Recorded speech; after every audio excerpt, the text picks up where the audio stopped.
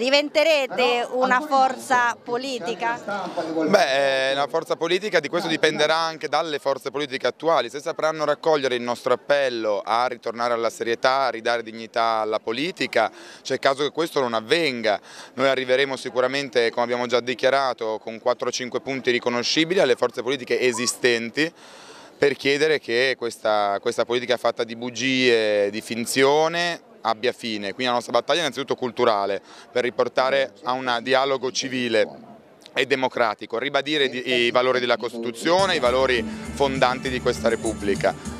Questo è il nostro primo obiettivo. In più c'è una battaglia enorme sull'informazione che ha travalicato i confini nazionali perché ci sono state piazze, ci saranno delle sardine da New York a San Francisco, a capitali europee, Madrid, Edimburgo, non solo le città italiane, l'isola d'Elba, l'isola Maddalena perché io credo che il tema delle fake news, il tema dei contenuti politici non verificati, di una politica che è fatta di social, ma è fatta di social controllati da chi è più ricco e da chi è più potente, sia tocchi tutti, tocchi veramente tutti e tocchi il nostro futuro soprattutto, quindi la battaglia è da condurre adesso. Gratta, gratta il sardone, spunta fuori la Costituzione. Praticamente ho spiegato a mia figlia di 12 anni perché dovevamo essere qui in piazza e allora abbiamo fatto insieme questo cartellone. Roberto Ugolini, 43 anni, operatore sociosanitario di Civitanova, a cosa si dice no? Proviamo a iniziare a risvegliare le coscienze su dei punti cardine,